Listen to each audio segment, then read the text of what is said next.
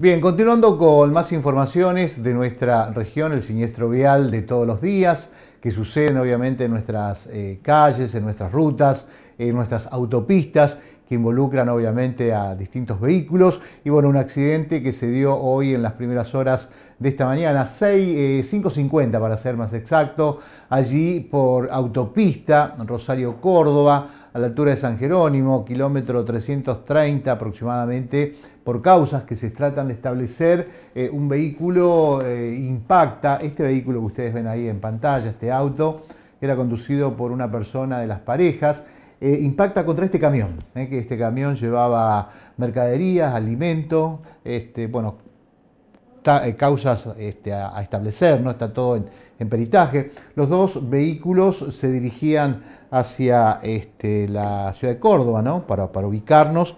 entonces fueron alertados allí la policía de San Jerónimo Sud, los llaman alrededor de las 5.50, se, recibe el llamado telefónico donde da aviso que se produce un accidente de tránsito en la autopista Rosario-Córdoba, en el kilómetro 330 y medio de dicha autopista. El personal policial de San Jerónimo observa que por causas que se tratan de establecer colisionan dos vehículos, uno marca Mercedes-Benz, Atego 1472, de mayor porte, estamos hablando del camión, color blanco, eh, conducido por un hombre de 40 años de la localidad de Magdalena.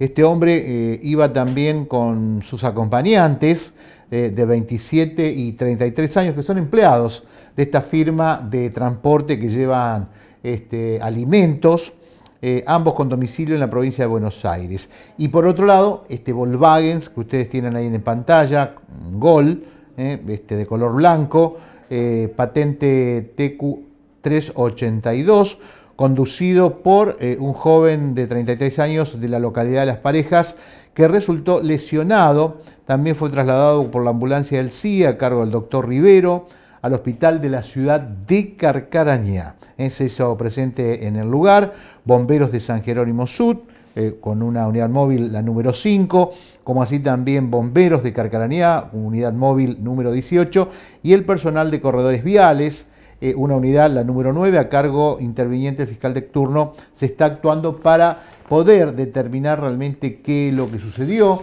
Eh, recordamos, estuvo eh, cortada la autopista Las Manos que va a Córdoba por espacio de media hora aproximadamente para retirar este, los vehículos. Realmente este muchacho, ya esto un poco análisis de uno, ¿no? Volvió a nacer por el tema del golpe, ¿no?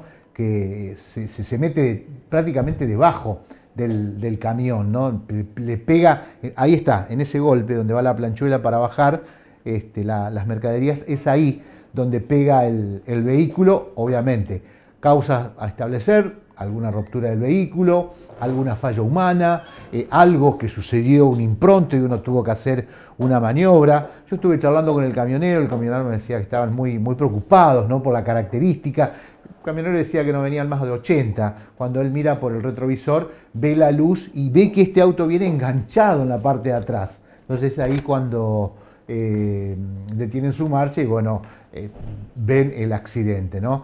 Eh, podemos decir que solamente fueron algunos golpes, algunas lesiones en la cara del conductor, está evolucionando de forma favorable y ahora está todo a peritaje para saber realmente qué lo que sucedió a este auto. Reiteramos, choque entonces en la autopista hoy a la mañana eh, a las 5.50 kilómetros 330.